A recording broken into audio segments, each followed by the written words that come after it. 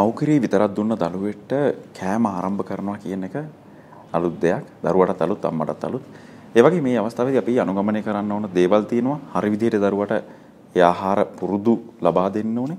ආහාර හරි විදිහට ලබා දෙන්න ඕනේ. ඒ නිසා මේ වීඩියෝ එකෙන් කතා කරන්නේ දරුවෙක්ට ආහාර පටන් ගන්න පළවෙනි සතිය ගැන.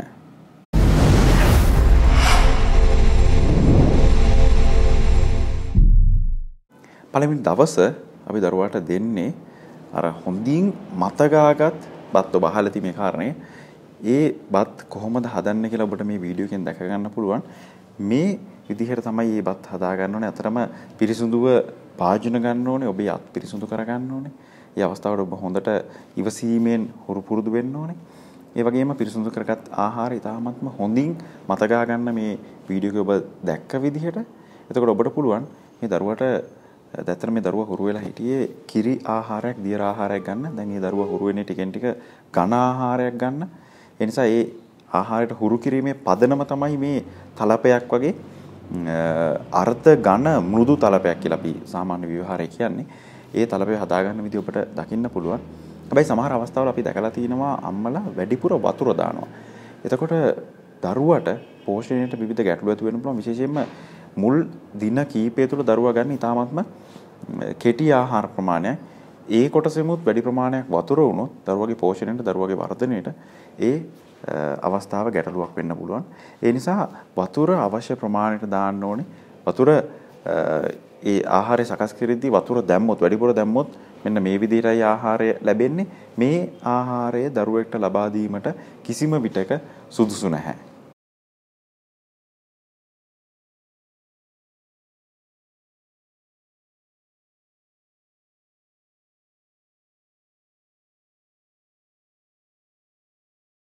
හොඳයි දැන් ඔබ හොඳට ඒ විදිහට මතකාගත් බත් තලපය ඔබට පුළුවන් ඒ අලුත කෑම පටන් ගන්න දරුවට ලබා දෙන්න පළවෙනි දවසේ දරුවා හැන්දක් විතර වගේ ප්‍රමාණයක් තමයි ආහාරයට ගන්නෙ. ඔබට පුළුවන් මේ ආහාරයත් එක්ක මව්කිරි ටිකක් මිශ්‍ර කරලා දෙන්න. මොකද දරුවගේ රස සංවේදන තියෙන්නේ මව්කිරිත් එක්ක. ඒ නිසා දරුවව මව්කිරි වලින් තමයි පසුගිය දිනවල පසුගිය මාස 6ේම දරුවට ලබා දුන්නේ. ඒ නිසා දරුවට අපිට පුළුවන් මව්කිරි සමග මිශ්‍ර කරලා දුන්නොත් දරුවා ආසාවක් ඇති වෙන්න පුළුවන් ඒ බත්තලපේ ලබා ගන්න. ඔබට දින එකක් දෙකක් තුනක් යනකම් මව්කිරි ස්වල්පයක් මිශ්‍ර කරලා ලබා දෙන්න. ඊට පස්සේ නම් අවශ්‍ය වෙන්නේ නැහැ දරුවා බත්තලපේ ආහාරයට ගැනීමට හුරු වෙනවා. ඉතින් පළවෙනි දින තුන තුල ඔබට දෙන්න පුළුවන් මේ බත්තලපේ විතරයි. පළවෙනි දවසේ එක වේලක් දුන්නත් ඇති. හැන්දක් විතර සමයි සමහර දරුවා ආහාරයට ගන්නේ. දෙවෙනි දවසේ එය වේල් දෙකක් බවට පත් කරන්න හැන්දක් විතර. තුන්වෙනි දවසේ වේල් තුනක් ඔබට දෙන්න පුළුවන් හැන්ද ගානේ. ඊට පස්සේ අපි කතා කරමු ඊළඟ දවස්වල කොහොමද මේ දරුවට ආහාර ලබා දෙන්න ඕනේ කියලා. දැන් පළවෙනි දවස් 3 දරුවට අපි දුන්නා මතගාගත් බත්තලපේ දැන් දරුවට එය හොඳට හුරු වෙලා තියෙන්නේ. දැන් අපි සූදානම් වෙන්නේ 4 5 6 7 කියන දිනවල දරුවට ආහාර ලබා දෙන්න කොහොමද කියලා කතා කරන්න. දැන් ඇතරම දරුවට අපි විවිධ ආහාර හුරු කරන්න අවස්ථාව ලැබිලා තියෙන්නේ. දරුවගේ ආහාරය සමන්විත වෙන්න ඕනේ විවිධ සංඝටක වලින්, ප්‍රෝටීන වලින්, khනිජ ලවණ වලින්, කාබෝහයිඩ්‍රේට්, ලිපිඩ, විටමින මේ හැම දෙයක්ම තියෙන්න ඕනේ. දැන් අපි සූදානම් වෙන්නේ මේ දේවල් එකින් එක එකතු කරන්න. හතරවෙනි දවසේ ඔබට පුළුවන් අර හොඳට මතකාගත් බත්තලපයට පරිප්පු චුට්ටක් එකතු කරන්න. එය හොඳට තම්බලා අරගෙන අර බත්තලපයත් එක්කම මතගාලා ගන්න ඕනේ. හැබැයි මේ වෙනකොට ඔබට මව්කිරි එකතු කිරීම එතරම් අවශ්‍ය වෙන්නේ නැහැ. දැන් දරුවා බත්තලපයට හොඳට හුරු වෙලා තියෙන්නේ. ඒ නිසා ධාන්‍ය වර්ගයක් පරිප්පු වගේ ධාන්‍ය වර්ගයක එකතු කරලා දරුවට පුළුවන් දරුවගේ ආහාරය ලබා දෙන්න. මේ දිනවල ප්‍රධාන වේල් තුනක් දරුවට ලබා දෙන්න. හැන්ද විදිහට ලබා දුන්නු ආහාරය දැන් අපිට හැඳි දෙකක් විදිහට දරුවට ලබා දෙන්න පුළුවන්. සමහර දරුවෙක් හැඳි තුනක් ආහාරයට ගනීමේ දරුවාගේ ශක්තියතාවයේ අනුව ඒ නිසා දරුවාගේ අවශ්‍ය ප්‍රමාණය දරුවට ලබා දෙන්න. අලුතෙන් ආහාරයක් හඳුන්වා දීමේදී ඔබ විශේෂ සැලකිල්ලක් දක්වන්න ඕනේ.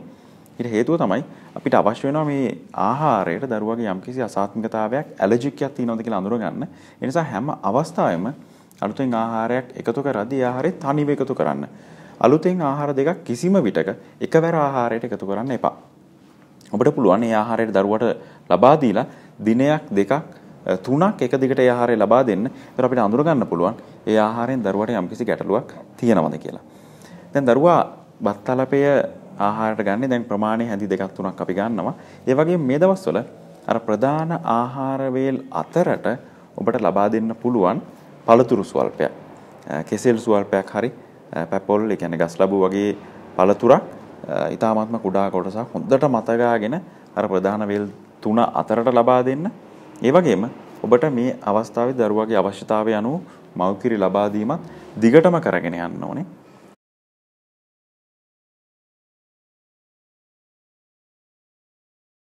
අපි කතා කරේ පළවෙනි සතියේදී දරුවට ආහාර පුරුදු කරන්නේ කොහොමද කියලා අපි බලාපොරොත්තු වෙනවා දරුවගේ ආහාර ඉදිරි සතිවලත් කොහොමද ලබා දෙන්නේ දරුවව හොඳට වර්ධනය කරන්න දරුවව සංවර්ධනය කරන්න මේ ආහාර උපයෝග කරගන්නේ කොහොමද කියලා කතා කරන්න. ඔබට අපේ වීඩියෝ එක වටිනවා නම් පහලින් කමෙන්ට් කරන්න පුළුවන් ප්‍රශ්න තියෙනවා නම් ඒ වගේම ලයික් කරන්න පුළුවන්. අපේ YouTube channel එක subscribe කරන්නත් අමතක කරන්න එපා. පහර පහත තියෙනවා link එක. ඒ වගේම subscribe button එක ගාව තියෙනවා bell එකක් වගේ රූපයක්. එය click කරොත් ඔබට අපේ අලුත් වීඩියෝස් ඉක්මනින්ම දැනගන්න පුළුවන් අලුතෙන් වීඩියෝ එකක් අපේ YouTube channel එකෙන් ඉදිරිපත් කරාම එනිසා අපි ඊළඟට කතා කරමු මේ දරුවාගේ වර්ධනයට ඉදිරියේදී ආහාර දෙන්නේ කොහොමද කියලා.